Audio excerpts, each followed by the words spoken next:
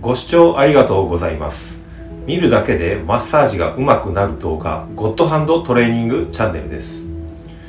今回はマッサージをしていただくセラピストの皆様のために筋肉の深さをイメージする動画をお届けしようと思います。普段体表からタオルなどを介した上でマッサージをするわけですがその感触としては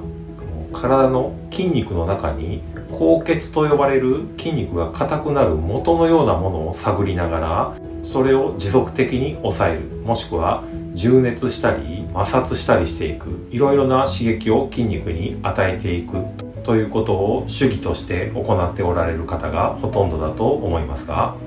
その筋肉の高血がある深さというのをどのくらいどのくらいイメージできた上でマッサージできているのか。そのあたりを検証していくために今回は体に鍼灸治療用の針を刺してその針の長さから高血に到達するまでの深さこれをお見せすることで筋肉が体のどのくらいの深さのところで硬くなっているのか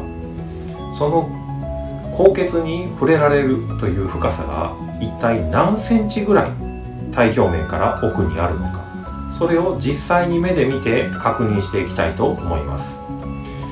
ちなみに私は鍼灸師つまり針師の免許を持っているので体に針を刺すという行為が法律的に認められております。同じような検証をしてみたい。実際どのような深さか見てみたいという方は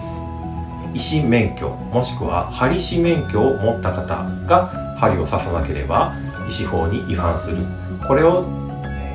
この点に注意していただいた上で自分でも筋肉の深さを実際に見てみたい試してみたいという方は法律を守った上で実験してみるというのもいいかと思います。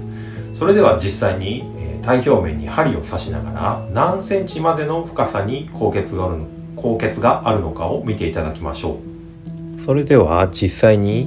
この鍼灸治療用の針この長さが身体から心線と呼ばれる先端までの距離が8センチの針を使ってこれを腰の3番4番あたりの腰椎の際から脊柱起立筋の深い部分そして腸肋筋が肋骨にあたるこの胸椎の11番12番あたりの少し外側の筋肉。そしてこの腸骨量あたりの筋肉の深さ。そして腰椎の横突起に当たる部分に針を入れてみて実際にどのくらいの深さ。で高血を接触する感じが生まれるのか。それを見ていただきたいと思います。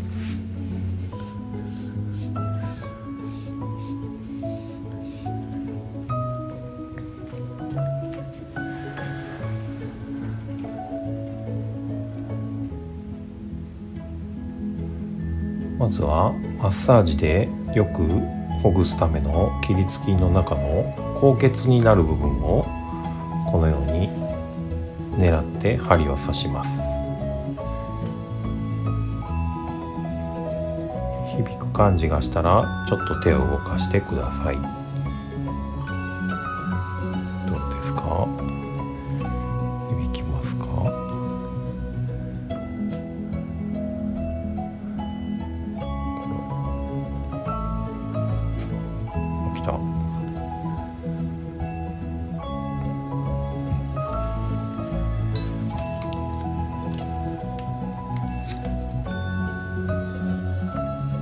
そして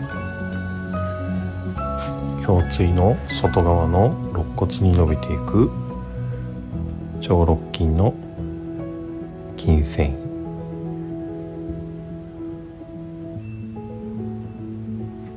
たかな、実際にマッサージの時に高血を触知してほぐしていく。そういった高血として触れられる場所に針が当たった場合には響きと呼ばれる感覚が生まれます。なので針がその硬くなっている部分に到達すれば受けている方はすぐに届いたという感触が分かりますので今回はその感覚を参考にして筋肉の深さというものをイメージしていただけたらと思って針を入れております。どうかな。で実際に凹凸器がどの深さにあるのか。というのを見るために腰椎の凹凸器に当たるように垂直に針を落としていき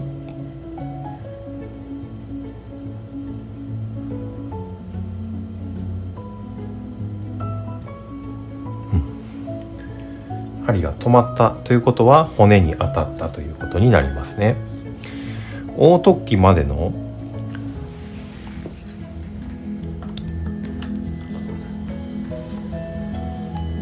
実際の深さを計測してみるとこの部分凹凸器を狙った部分でおよそ3.8センチ。38ミリ程度針が刺さっていることになります。そしてその斜めに起立筋を狙った針。こちらもほぼ同じような深さ。つまり凹凸器に届くぐらいの深さのところにちょうど気持ちのいい高血が触れる、まあ、これはおそらく一番深いところでこの深さ。と思いますのでだいたい4センチぐらい深いところの組織をマッサージするようなイメージそこを探っていくようなイメージということになりますね。この腸骨量の筋肉と骨盤の接合する響きやすい部分ここに関しても約4センチ。つまり平均的な日本人の体格で深い筋肉をほぐすという目的のためには約4センチ深いところを探っていくイメージということですね。こちらの部分に関しては、えー、2センチ。この肋骨にすぐ近くに触れるような感覚の筋繊維筋繊維ですら約2センチほどの深さに高血する部分がある。そういったイメージを持ってマッサージをするということが大事になるのではないでしょうか。では実際にこの針を抜いていってみましょう。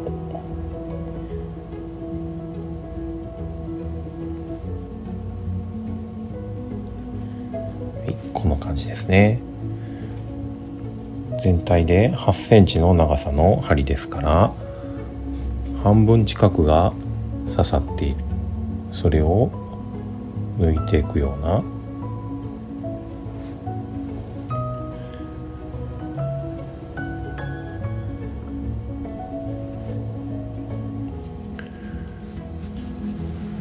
こちらは約2センチほどです。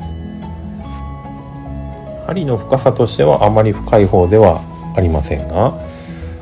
マッサージをするという上では2センチというのは自分の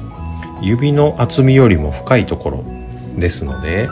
まあ、単純に指を沈めていくと軽く1センチ2センチは沈みますのでこの圧をかけない状態での皮膚からの深さという意味ではそんなに深くない位置という認識でいいかと思います。ところがこの腸骨量の部分に関してはもちろん指は沈んでいく感触はありますがさらにここから数センチ奥にある筋肉を触知していく。骨盤方向に向かって。斜めに指を食い込ませて探っていくぐらいの深い位置を触る感覚。というのが重要になると思われます。いかがでしたでしょうか？非常にシンプルですが実際の体表面それから皮膚を押さえていった時の、えー、高血に至る深さに対してのイメージというのを持てるような映像になっていたかとは思います。実際に針を刺す場合というのは体表面に圧がかかっていない状態での深さになりますので、えー、母子で圧をかけていった際にはその体表面で4センチであったところが押さえていく指の下2センチ1センチから2センチ程度のところに筋肉の硬い部分が触れるようなイメージ。そういったものを持ってマッサージしていただけるとよりクライアントの体の緊張をほぐしていくそういったイメージを頭の中で描きやすくなるのではないかと思います。この動画が参考になったという方は是非チャンネル登録といいねボタンをよろしくお願いいたします。それではこれからも見るだけでマッサージがうまくなる動画ゴッドハンドトレーニングチャンネルをよろしくお願いいたします。